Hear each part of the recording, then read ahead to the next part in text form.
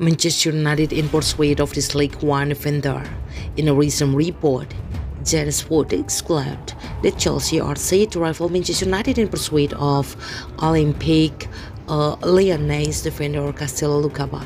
It has been revealed that the Blues are one of many clubs monitoring the progress of the French centre back. The Lyon-born talent defensive ace has proven himself to be a consistent performer in Ligue 1 Lukeba has made 16 appearances for the French club decisions, scoring two goals in the process across all competitions. The 19 year old has coached the eye by averaging 1.5 tackles, 1.5 interceptions, and 1.9 clearances per game in Ligue 1.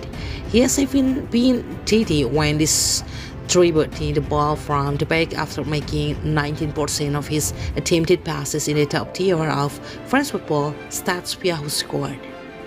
Lukeba can use his strong 1.84 million frame to dominate the opposition's attackers in the air and is a solid tackler of the ball. He can time his challenges well to earn positions back on the defensive end of the field. The French Westgate is also proficient at playing his way out from the back, but it's still quite inexperienced at the highest level. Lukeba is primarily a central defender but can even fill in as a left back if required.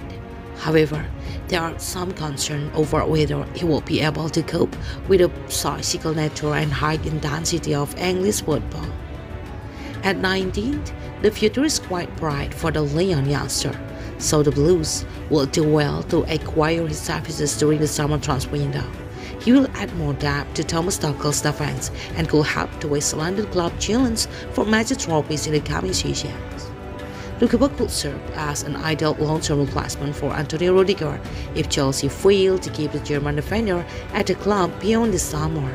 With all things considered, the Ligue 1 prospect will be a good fit for the Blues to pursue when the transfer window commences later this year.